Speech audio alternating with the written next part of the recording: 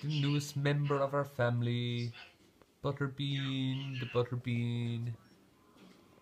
Just say hello.